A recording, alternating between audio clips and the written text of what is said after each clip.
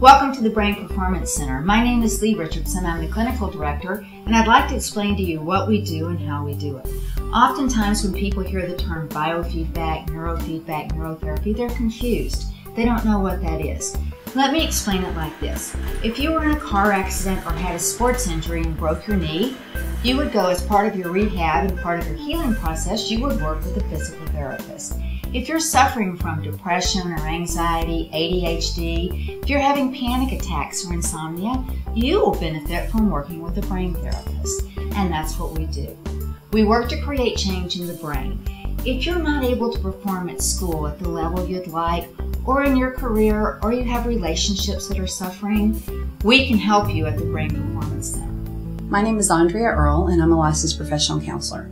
I've been working with Lee Richardson and the Brain Performance Center for the past five years, partnering with her to create mental health awareness with my clients.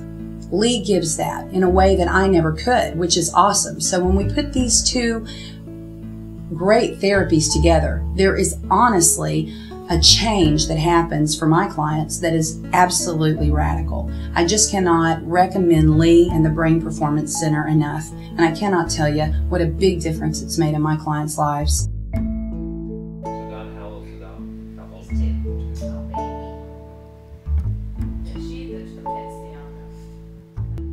My name's Mark. Um, I came to the Brain Performance Center about two to three months ago and began seeing Lee here.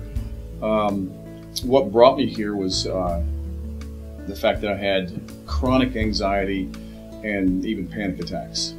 Um, I've suffered from both of those things for pretty much my entire life. I began brain training with Lee um, two or three months ago.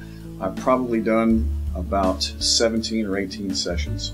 And the cool thing is, is that after the 17, 18 sessions, the anxiety has has come down uh, significantly, and the panic is basically gone.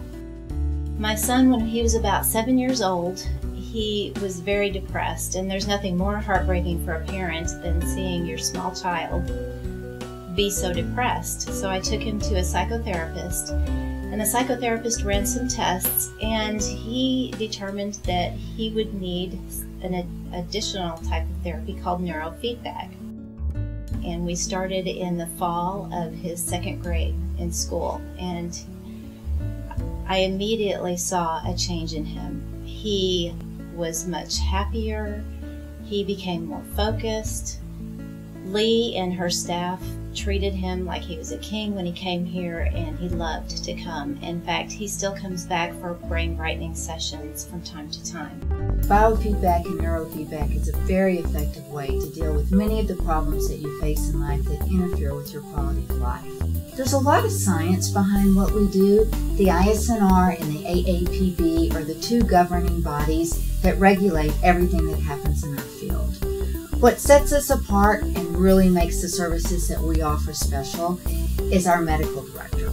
Our medical director is a neurologist, and by the way, he was voted best doc by his peers and colleagues in 2012. If we can help you in any way with any of the problems that you're facing, please pick up the phone and call today for a complimentary consultation. It would be our pleasure to learn how we can help you more at the Brain Performance Center.